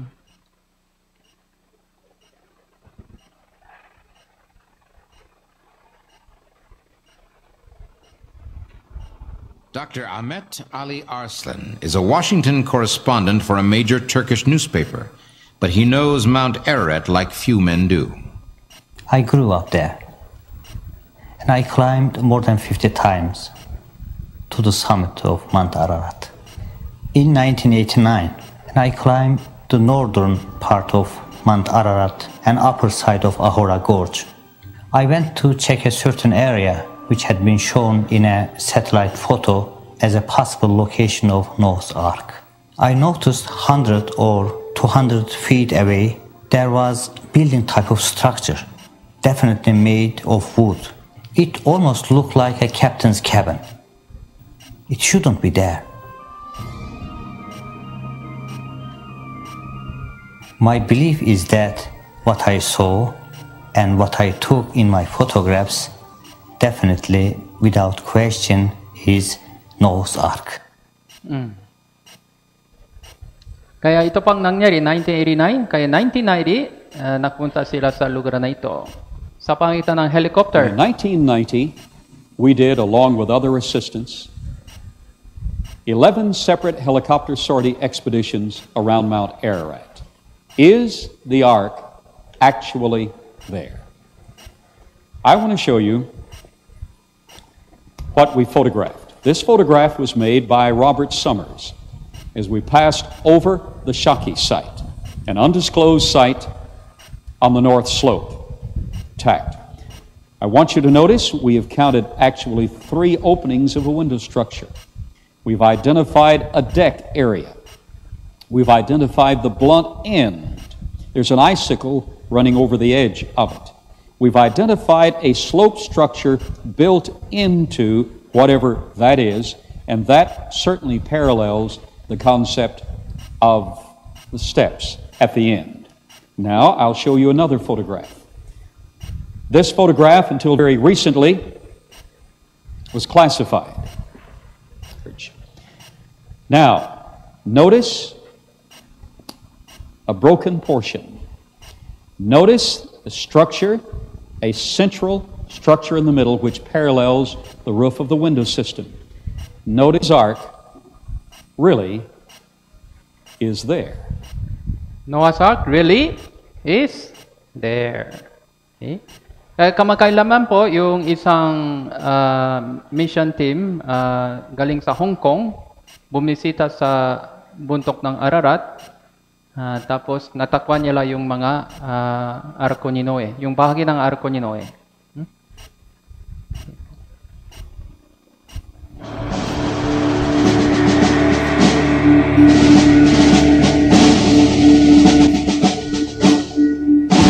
要全部個鏡頭聽到啦。響裏邊嗰嚿突咗出嚟嗰、個。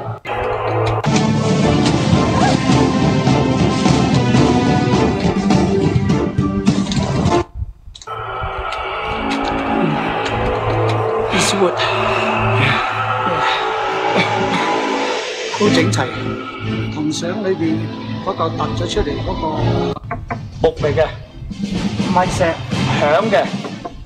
OK。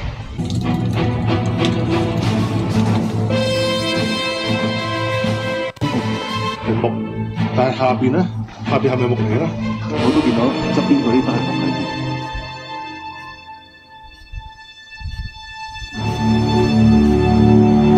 呢個都係順香位嚟嘅。 Kaya, Noah's Ark National Park Visitor Center. Eh, doon sa Turkey, meron po, no? Meron. Hmm. Kaya, yung Noah's Flood, totoo po ba? Hindi. Totoo po. Yung Noah's Ark, totoo po ba? Hindi. Totoo talaga, no? Ilang persyento? 100%. 100%. Kaya inisip ng ibang tao, 40 days, 40 nights, umulan, impossible. Noah's flood, impossible. Maraming mga ebidensya na nasa Bible. Po, Biblia ay totoo talaga. Ah, pero maraming tao ay nalunos sa panahon yon ah, dahil sa ano po, ah, tinanggihan nila ang mensahe ng Diyos. Hmm? Eh, sa panahon yon, si Noe ang takapaaral ng katuwiran kasama ng pitong iba pa. Ibig sabihin, ibinabahagi niya ang ah, mensahe tungkol sa paghuhukom ng Diyos. Pero ayaw niyo lang ah, tinanggap ang mensahe ng Pangin- ah, Panginoon Diyos sa pangitan ni ah, Noe, kaya lahat sila nalunod maliban sa pamilya ni Noe. Konti lang maligtas. Konti lang po. Hmm. Kaya ngayon, ah, meron po tayong Graham Bible Seminar. Dito, maraming taon tumitira, pero konti lang umaten. Parang ito pa yung arko ni Noe. Hmm. Konti lang silang umaten. Ah, saan sila lahat? No? Ayaw nilang makinig. Busy daw. Kaya, bakit maraming tao nahulog sa impero, no? Sabi ng Panginoon Jesus, ah, konti lang maliligtas daw. Walong kaluluwa ang naliligtas sa pamitan ng tubig. Kaya sinabi ng ah, ah, Diyos, ah, ano po, yung mga alaga ng Panginoon Jesus, nagtanong kay Jesus, Panginoon, kakaunti ba ang maliligtas? Maksikap kayong pumasok sa makipon na pintuan sapagkat sinasabi ko sa iyo, marami ang magsisikap na pumasok, hindi makapasok. Konti lang maliligtas. Hmm, Konti lang. Kaya kadalasan, dahil sa katigasan ng ulong ng makasalanan, ah, sila pa ay makapunta sa ah, impyerno. Kaya, ano pang nangyari sa panahon ni Noe? Maliban sa pamilya ni Noe, ah, lahat sila nalunod. Hmm. Dahil sa, ano po, kasalanan po nila. Dahil sa kanilang pagtanggi sa mensahe ng Diyos. Ang gabaran ng kasalanan ay, ano po yon Kamatayan. Ano pang impyerno? Ikalawang kamatayan. Kaya yung nangyari sa panahon ni Noe, ito po ang ah, imahe ng impyerno. Hmm? Kaya bakit ito po nangyari? Ah, dahil sa kasalanan nila. Ano pa ang kasalanan nila? ah, nakita ng Panginoon na napakasamang tao sa lupa ang bawahakan ng mga pag-iisip. Yung motibo nila, yung, yung isip nila, yung motibo nila, ah, kung nag-iisip tayo ng masama, yun din po ang kasalanan. Ang tao ay tumitingin sa panlabas na anyo, ngunit ang Panginoon tumitingin sa puso natin. Hmm. Kaya kahit gumagawa tayo ng mabuti sa harapan ng ibang tao, ano pang tinitingnan ng Diyos? Yung puso, isip natin. Hmm? Kaya po, kahit gumagawa tayo ng mabuti, mabuting gawa sa harapan ng ibang tao, sa mata nila, ah, mabuti ito. Oh. Pero sa harapan ng Diyos, iba po yon. Bakit po? Ano pang tinitingnan ng Diyos? Yung tinitingnan ng Diyos ay, ano po, yung isip. Tapos, ano po? Puso. Naintindihan po? Hmm. Kaya kahit gumagawa tayo ng mabuti sa harapan ng Diyos, ano pang tinitingnan ng Diyos? Ay hindi naman gawa kundi pati ang isip, puso, yung motibo. Yung motibo.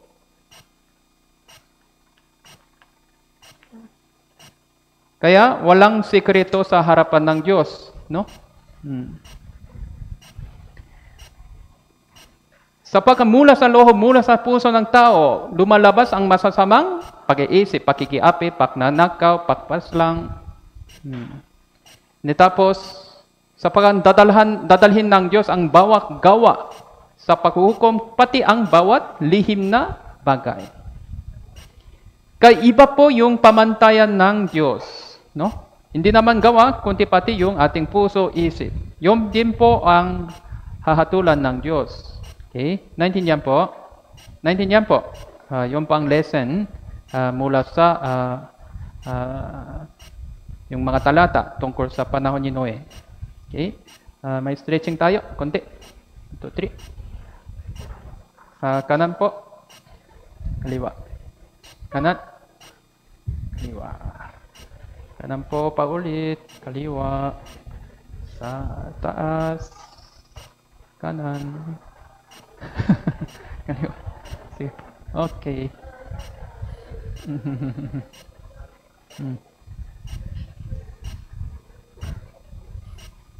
Okay.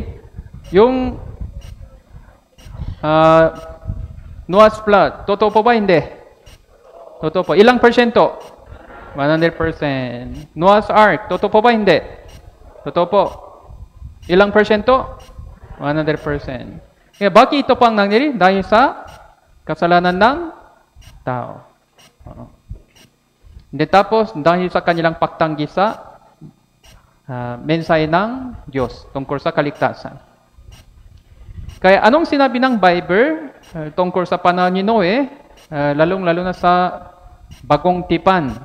Uh, sabi dito, sapagkat kung paano sa mga araw na yon, bago bumaha, sila ay kumakain, umiinom, nag-asawa, pinag-asawa, hanggang sa araw na pumasok si Noe sa barko. Hindi nila nalalaman hanggang sa dumating ang baha.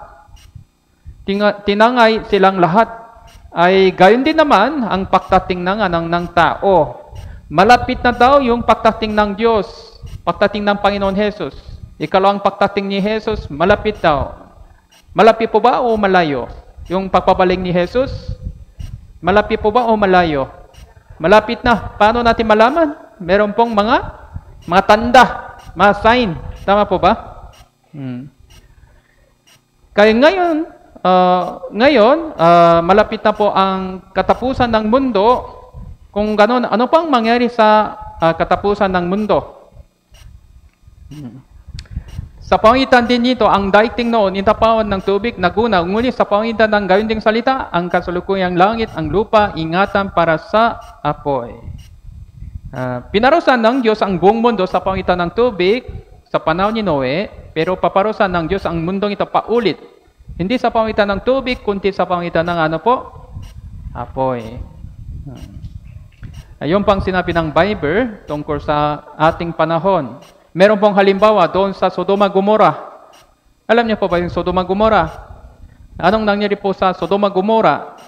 sa lungsod na ito, buha sa langit, napaulan ng Panginoon sa Sodoma Gomora ng asupre at poy. Ginunaw niya ang mga lungsod na yon, ang buong libis, ang lahat ng nakatira sa mga lungsod, ang mga tumutubo sa lupot, lupa. Buha sa langit, nakpaulan ng Panginoon sa Sodoma Gomora ng, ano po? Tubig? Hindi, asupre at apoy. Ay, impossible yan. Paano ito nangyari? Kwento-kwento lang ito, pangbata. Ganon po ba? Natakpuan nila yung bakas ng sinaunang lungsod na ito. Ah, nang natakpuan nila ito, ang Sodoma Gomora, ah, ito pa ay nababalutan ng abo. Sabi ng Biblia, kung paanong pinarusan niya ng pakalipor ng mga lungsod ng Sodoma Gomora na ginawa niyang abo upang maging halimbawa daw sa mga mamumuhay sa kasamaan. Anong kasalanan nila? Kung hinahanap nyo ang ah, sodomy in English, sodomy, anong ibig sabihin? Yung sodomy? Mga lesbian, mga pakla, LGBT, no? Yun pa ang ibig sabihin ng sodomy, no? Hmm. Ano pa ang kasalanan nila? Ah, ano, sexual immorality tapos homosexuality, no? Yun pa ang nangyari. Kaya ng malaking kasalanan, maruming kasalanan sa harapan ng Diyos, yung, yung abo, yung karaniwang apoy, hindi makakalika ng abo. Kailangan po napakalakas na apoy. Na yung pang nangyari sa Sodoma Gomora. Sa detalyadong paraan, natakpan nila yung mga asupreng bato na nababalutan ang buong lungsod ng asupreng bato. Hmm. Kaya punta tayo sa Sodoma Gomora sa pamitan na ano po, oh, video clip.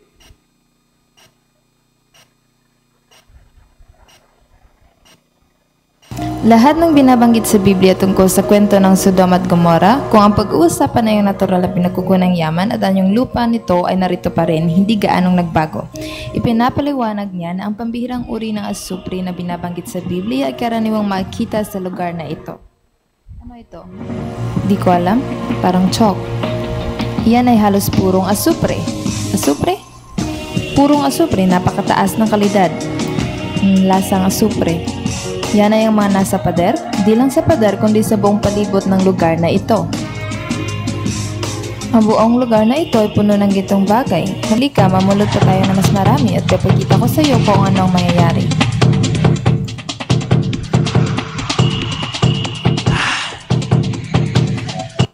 Tama ba ito?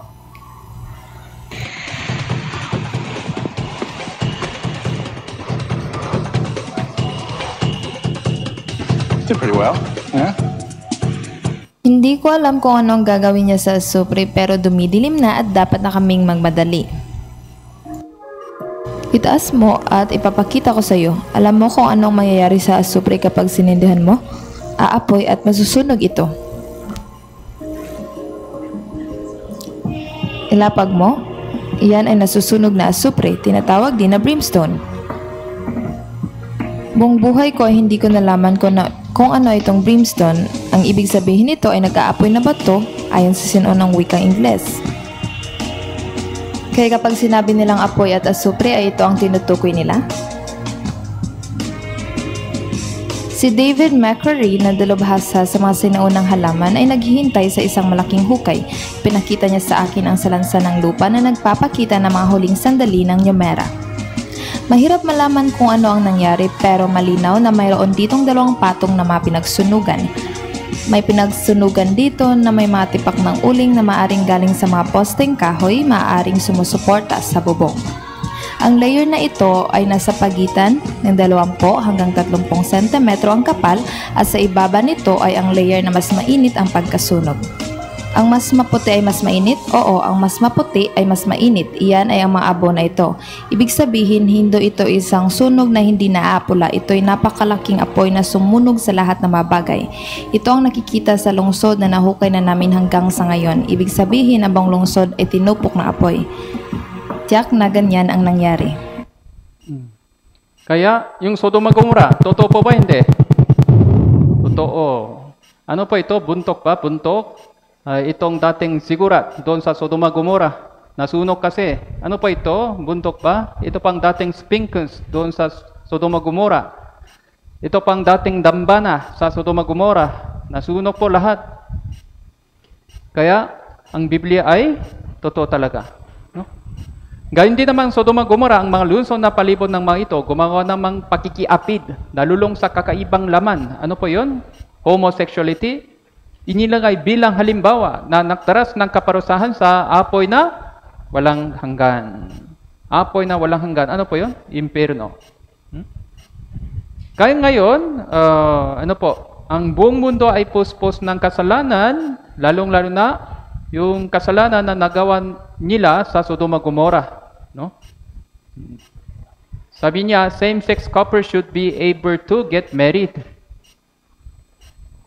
Kaya ang buong mundo naging masama sa harapan ng Diyos. Hmm? Yung doon sa Tel Aviv, ito pang uh, isa pang uh, malaking uh, lungsod sa Israel, uh, yung pang pinakatanyak ng lugar para sa mga uh, fiesta ng mga gays, lesbian. Mga 30% of population doon sa Tel Aviv ay lesbian o gay. Kaya ano pang resulta? Mga sakit, hindi pa karang sakit sa kanila, monkeypox din po. Mga ito din po ay sakit sa mga gay daw. Monkeypox in the gay community. So sa buong mundo, maraming bansa ay pumayak ng mga kasal sa pagitan ng same-sex couple. Malapit na po yung katapusan ng mundo. O, paparusan ng Diyos. Susunugin ng Diyos ang buong mundo. Ano pang tanda ng inyong pagtating ng katapusan ng panahon? Hmm? Ang mga magkaroon ng takutom mga lindor sa iba't ibang dako. Kaya ngayon, uh, nakita natin yung kakaibang pangyayari sa buong mundo. Magkaroon ng malalakas na lindor sa iba't ibang dako. Magkaroon ng takutom ang mga salod. Hmm? Mga lindor po, mga lindor, iba't ibang dako sa buong mundo. Huh? Kaya mula sa 1940, eh, hanggang ngayon, noon pa naman, paminsan-minsan nangyari sa Lindor, kaya tingnan po natin yung mga uh, video clip na ito. Biglang dumami na dumami yung mga Lindor sa buong mundo. Hmm? Kaya dati, ayon sa graph na ito, konti lang naman yung pagkaroon ng Lindor sa buong mundo. Ngayon, uh, 2020, 2010, 2000, mula sa 2010 hanggang 20, dumami na dumami na po yung uh, bilang ng mga uh, lindor.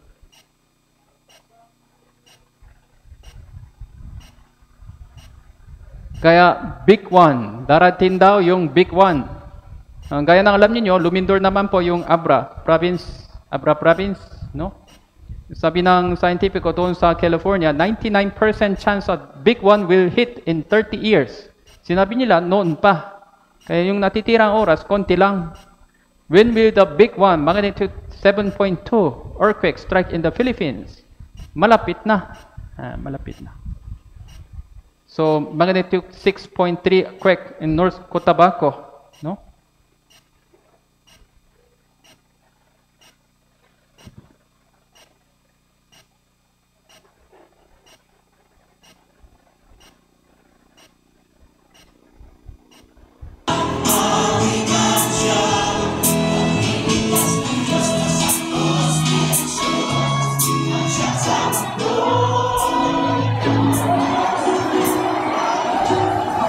Lumindor.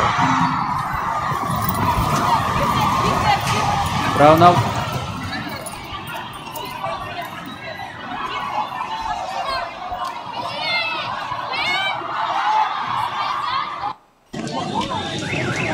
Lahat sila nagulat. Hmm? Mindanao earthquake, Matangas, no? Noon 2017.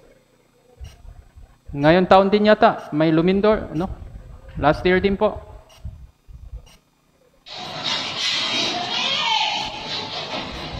SM Batangas. Lumindor. Kaya nagulat sila. Oh, bilis, bilis. Yung gamit nito. Tudo.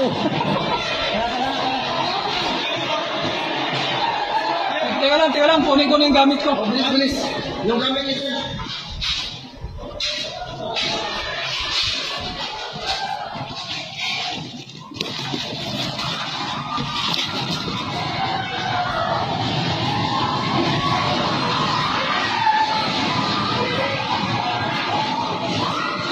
lakas.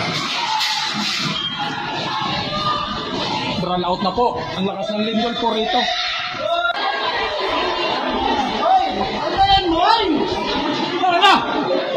Lakas, lakas.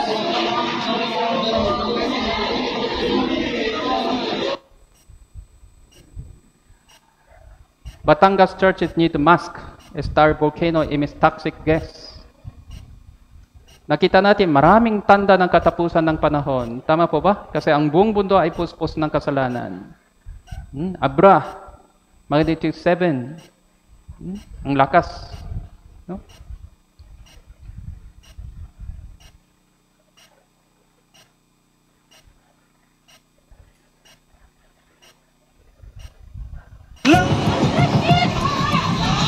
Buti hindi pa tayo makyat dun. July 27, 2022.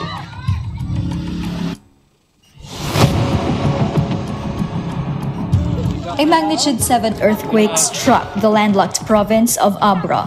Takot na takot kami. Sobrang hindi namin alam kung anong gagawin namin. Nagsishake na yung mga tuhod namin. Ito na yata ang pinakamalakas na naramdaman ko na lindol. Tremors rippled hundreds of kilometers and even reached the country's capital region. I'm Deniza Fernandez. Let's take a closer look at this devastating and deadly natural disaster.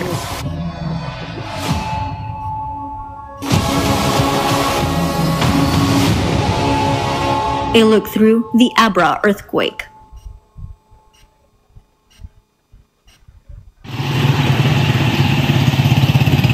We reached Banged town a day after the powerful quake. Damaged buildings were already evacuated. Cracks can be seen on roads. And persisting aftershocks further threaten the already distressed victims. And for Eric and his family, it's safety first, especially after seeing their dream house crumble right before their eyes. Bigla-bigla na lang nag-shake na siya. Tapos pinakiramdaman ko muna tapos bigla na lang tuloy-tuloy na tapos ang lakas na ng shake niya kaya binuhat ko na yung baby ko. Tumakbo na kami. Just like most of the families in Banged, Eric and his kin are now camping outside the ruins of their dream house. Dream house talaga namin tong mag-partner ma'am kasi ano eh matagal na to pinag-ipunan pa namin. Uh, sobrang nanghihinayang talaga kami kasi pagod at pawis ang pinuhunan namin dito tapos sa isang iglap lang ganun yung mangyayari. Sa isang ikalap nang itong nangyari. Okay?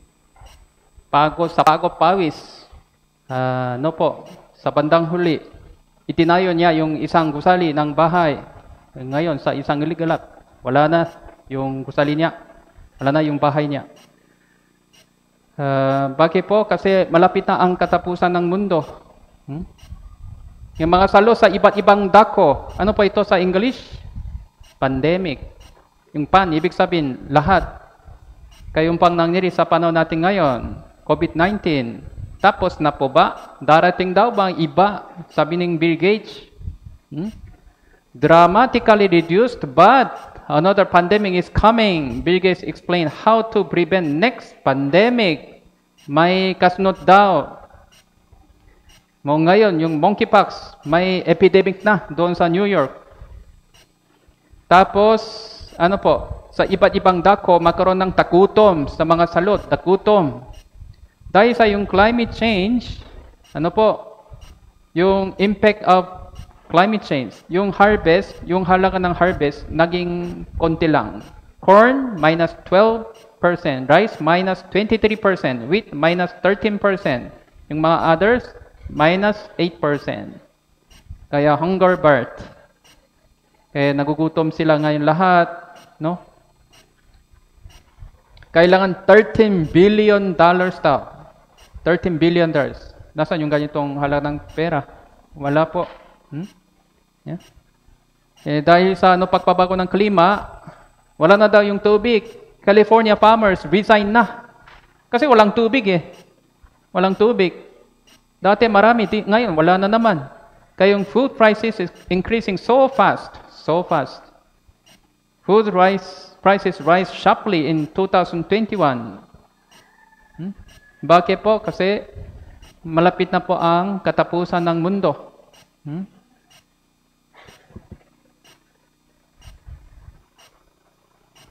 Sa ibang balita, lalala pa ang krisis sa pagkain sa mundo. Ayon po yan sa pagtataya ng Bank of England. Ilang bansa na ang nagkakaproblema sa supply ng pagkain, pati ng langis. May report si Ron Gagalak.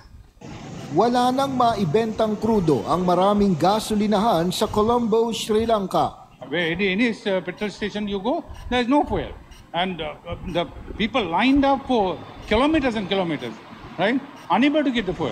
So how can you run a vehicle, right? Then how can you do your, your daily, uh, day-to-day activities? We are here from uh, morning 4.30.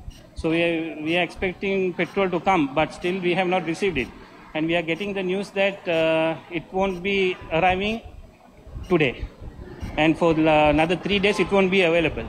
Sa Brazil, kahoy na ang ginagamit ng marami sa pagluluto dahil sa mahal ng gaas na dinagdagan pa ng sobrang mahal ng presyo ng pagkain ngayon. Pati sa mayayamang bansa tulad ng United Kingdom, problema din ang tumataas na presyo ng bilihin. Ayon sa Bank of England, lalala ang krisis sa pagkain sa mga susunod na buwan dahil sa patuloy na gyera sa Ukraine. Uh, as things stand at the moment, it's getting worse. And that is a major, major worry. And it's not just, I have to tell you, a major worry for this country, it is a major worry for the developing world as well. Uh, and, and so if I had to sort of, sorry for being apocalyptic for a moment, um, but that is a, that's a major concern. Sa Amerika, may shortage naman ng baby formula. Pumayag na ang US Food and Drug Administration na mag-import ang Amerika ng gatas sa ibang bansa para mapunan ang matinding kakulangan. Lumala pa ang krisis na ito nang mag-recall ang Abbott Laboratories. Kaya magulo na pa ang buong mundo kasi malapit na ang katapusan ng mundo, no? Silang lahat malulumang gaya ng kasuotan, gaya ng isang balabar, sila ay ilululon. Ano po? Yung langit ang lupa. Matanda na po yung ating mundo. Matanda na. Ah, kaya tapos sinisira ng mga tao ang sistema ang ng buong mundo dahil, dahil sa yung kasakiman, kasakiman nila uh, air pollution, no? Dahil dito, naging mainit na po ang mundong ito. Hmm?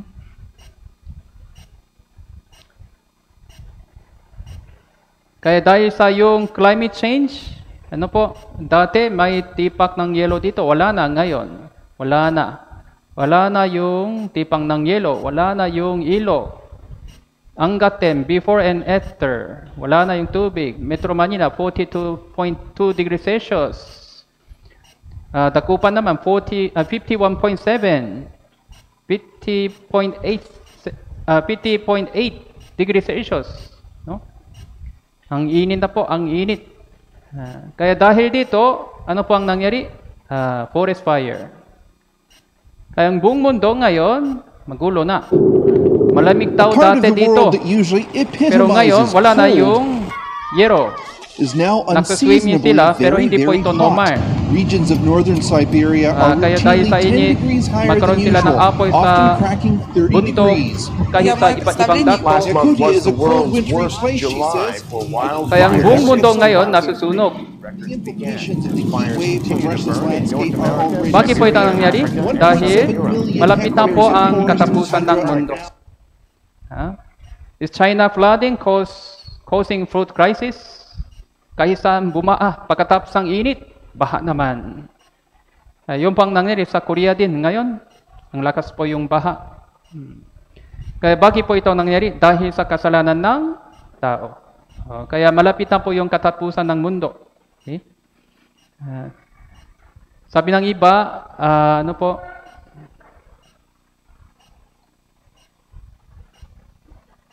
yung apoy para sa buong mundo, impossible. Pero posible sa Bible dahil meron pong nuclear weapons. Dito sa 2 Pedro chapter 3 verse 12, hinihintay pinakmamadali ang pagtating ng araw ng Diyos sapagkat ng kalangitan na naliliyap na nabutupok, ang mga pang- sangkap ay matutunaw sa init.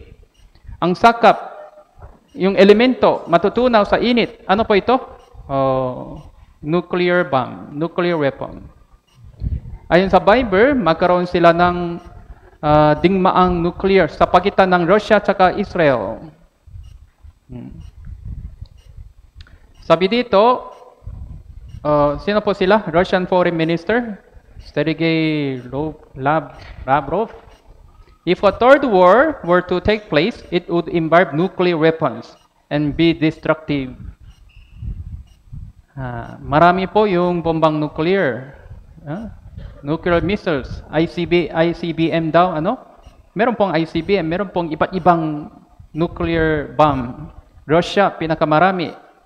US, sa iba't ibang bansa. China, marami din. No? France, UK, Israel. Ngayon, meron pong giyera sa pagitan ng Ukraine and Russia war.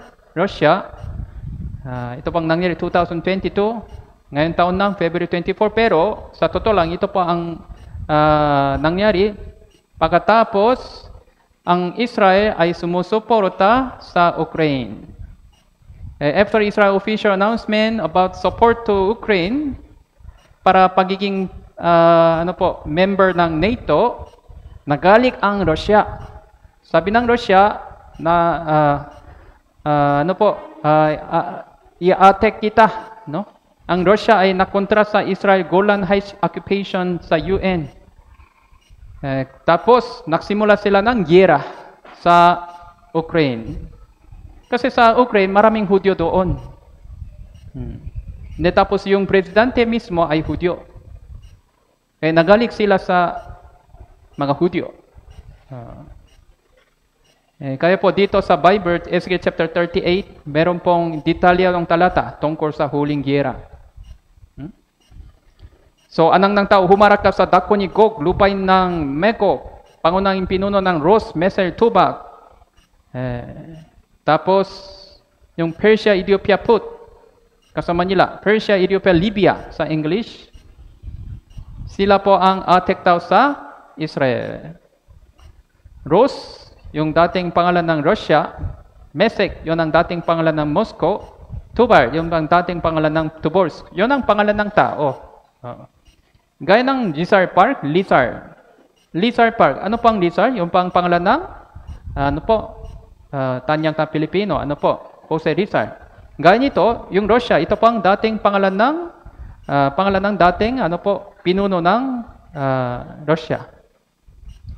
Gomer, Dagarmar, ito pang Turkey, taka Germ- Germany, ah, Iran, Ethiopia, Libya, atek po sila.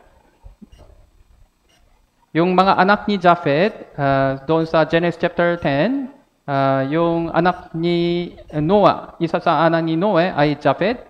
Yung anak nila ay Gomer, Magog, ah, Tubal. Tapos yung amang ni Gomer ay Askenaz, ito pang Germany. Tapos Pukarma, Turkey. Sila pang atek sa Israel. Dating, dating galing sa Iran. Dati tumitira sa Iran, de tapos noon tumi, lumipas sila sa ah, Tobolsk in Moscow and Belarus.